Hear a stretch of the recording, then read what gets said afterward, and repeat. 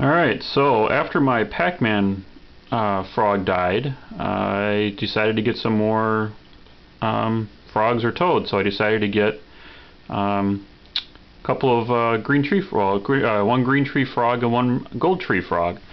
You can kind of see, there's the gold tree frog stuck up there, he's sleeping. And the green tree frog, and if you can see him in back there with the light, but he is up in the corner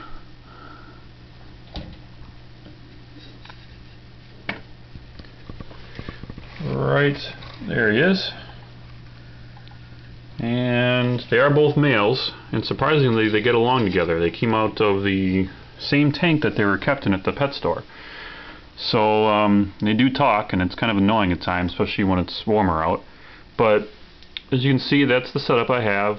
Um, just don't have any live plants in there yet. I actually have a, a different tank I wanted to put in there um, put them in. So um, eventually I'm probably going to move them over a little bit bigger tank and I might get one, one, one or two more of the uh, green tree frogs. Um, so you can kind of see just some of the fake plants and uh, one fell off the side there. But uh, that's about it. Just you know some stuff to climb for them to climb on, and then I just use a spray bottle right here just to uh, get the moisture going. Do about twice a day and keep it up. And then the heat lamps, I got one um, it's a night glow lamp. It's a 50 watt.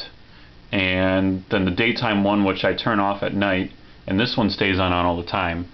Uh, this one is, I believe, I think it's a 50 right now. It's a 50 daytime uh, daytime glow lamp.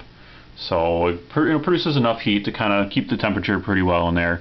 Um, I did have some gauges in the back there, but they kept falling off, and uh, so I decided to take them out. So, I hope you enjoyed the video. Any comments, please do, and have a good day.